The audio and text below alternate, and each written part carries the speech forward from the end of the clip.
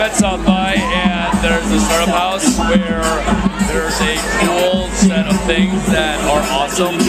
And the idea is Spotify does brand activation where absolutely, absolutely, like people get excited and involved, and like the energy here is completely.